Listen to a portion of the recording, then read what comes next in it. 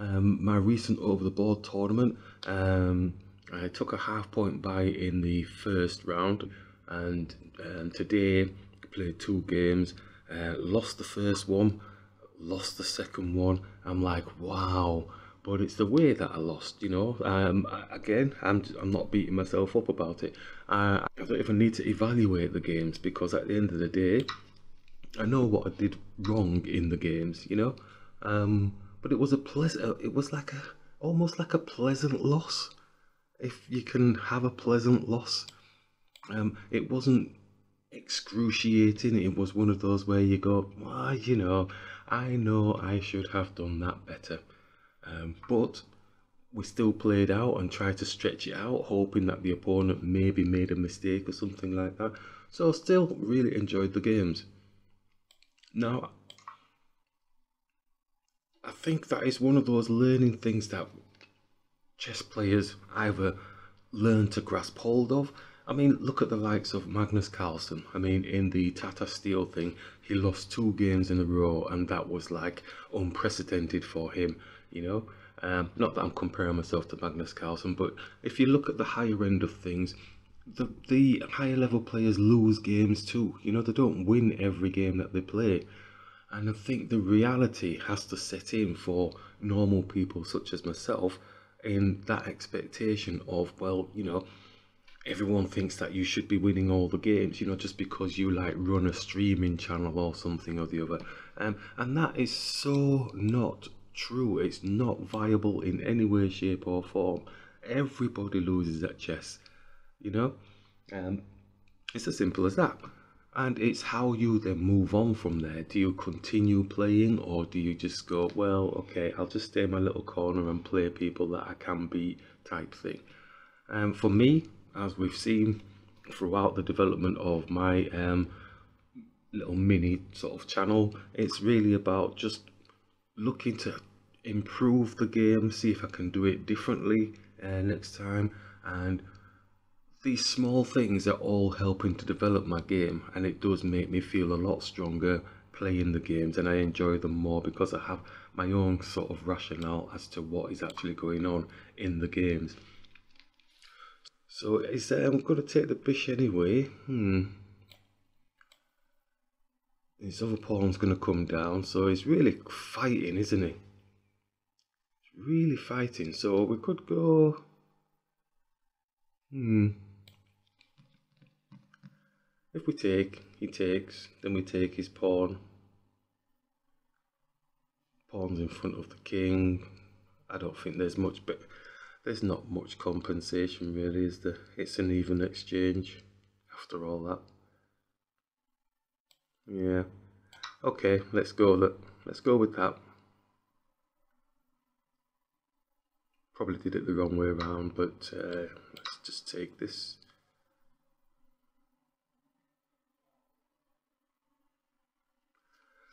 Wasn't really concentrating, but uh, yeah, so the loss aspect, losing in games, losing over the board, you know, um, you have to respect the players that are playing in there, you know. If you've lost because and you've done really bad move and it wasn't the opponent's skills, then, you know, fair dues. But um, if you've lost because the opponent was quite skillful, they've got a little bit more knowledge, they they focused and put it in, then at the end of the day,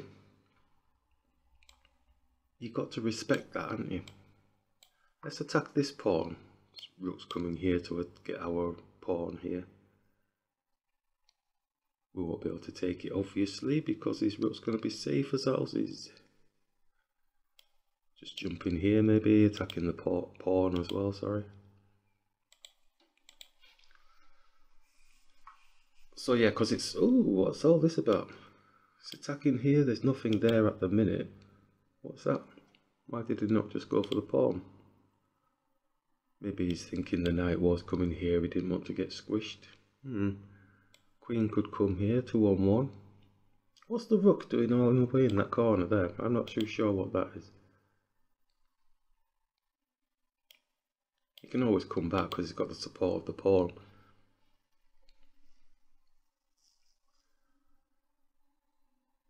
Yes, so two interesting games.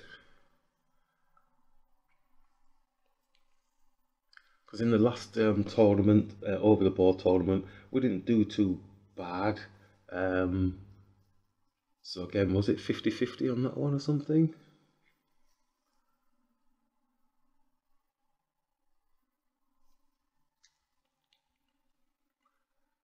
So the, in both games, it was a matter of not taking. Oh, is there doubling up?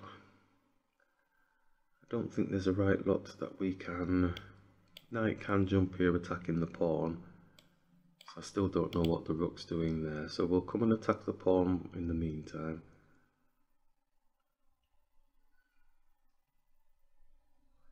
We're actually plus one, strange as it may seem. Was it a mouse slip, do you think? The rook going all the way across here? Or is there something I'm not seeing? Queen comes here, attacking the knight, then he's got the x-ray through. Well, he's got the... Keep messing my um, arrows up. Okay, right, so the queen's gone there, stopping this, but the knight can jump here. Queen can go for an exchange. We are attacking this pawn. Would have been a nice little hit. Okay. So it looks like we're putting pressure on, but uh, just going to hit the rook. He'll get to the space that he wants to get to in the first place and then go back and get the pawn.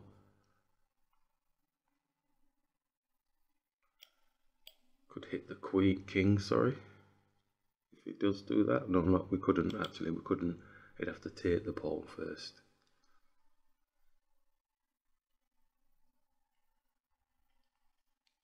So lessons learned from the two over the board games today. Um, I would really say I have to really believe and trust in my calculations because in both games I had done what I thought was brilliant calculations.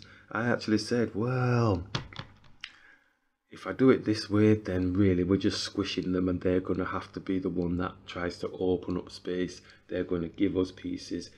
But then I went, no, let's simplify. You know, um, we simplified too much and then that put us in a, a kind of a bad situation um, later on in the game. So, got to trust the calculation. I did it, to me, it was really nice calculation. Uh, well, what's happening here?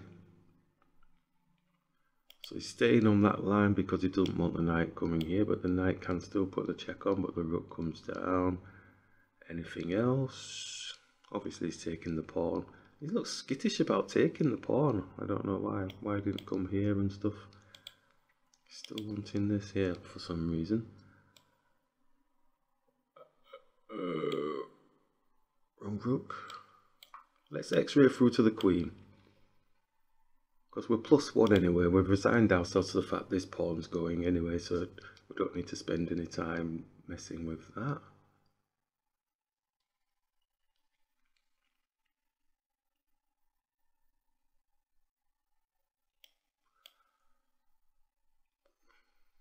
Some would say you probably should have jumped there.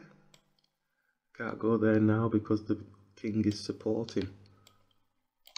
Get a check on the king throw this up, get the rook, but because he can't go there, so he's probably going to go here so that there's no check on his king.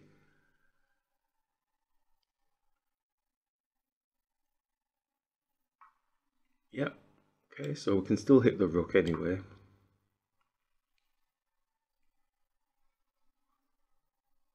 Rook's still chomping at the bit for this pawn, so okay, let's be on the queen. Rook x-raying through, discovered check on the queen.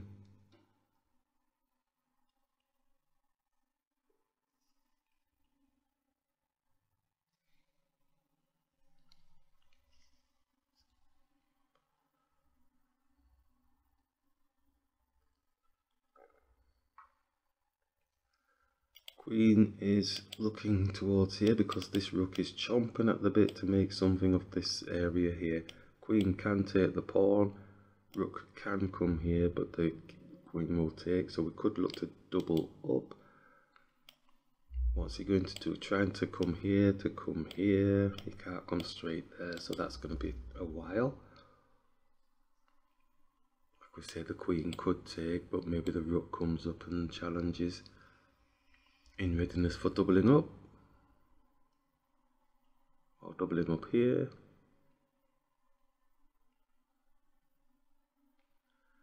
Let's keep it simple.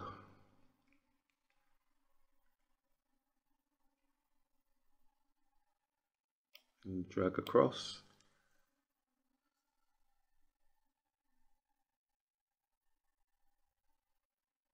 So, oh yeah, so like we said, he's to try and squeeze here, or he's trying to come around here to get a back rank checkmate type thing. Let's just bump this up. And then maybe we can give him the fright of his life somehow. Boom, boom, boom, that's a lot of moves. Or boom, boom there, but then that's a lot of moves again. But then we can go kablam. Oh, come on. That's not right, is it? That's not cricket, is it? We'll have, we have to go here because if he drops here, we still have the same sort of situation though. We can go blam here, he goes here. Well, we brought the rook there, so that's fine. So he's going to be taking off pawns, but still, we'll get a few checks on him with the queen. Yeah, so he's just going for the greedy munch now He's going for the greedy munch, but really I don't think they should have been. Let's go here. Has to go here. Oh, imagine now I can go behind there, but then he's checkmated. He's put himself in a mating net. Let's no, let's let's do some science here. Let's do some science. Not gonna have time to go up with the rook. So it looks like he's getting a draw if there's nothing else. I'm happy with the draw, I'm not fussed either way really now, just um, backwards and forwards. They'll probably be a bit miffed, but uh, is there anything different? The rook can't really get up because I suppose it can move the king round round, but I don't want, he's just going to put checks, checks, checks and end up being a draw anyway. I don't think there's anything else. Let's go backwards and forwards. Let's go. And a draw it is. Excellent.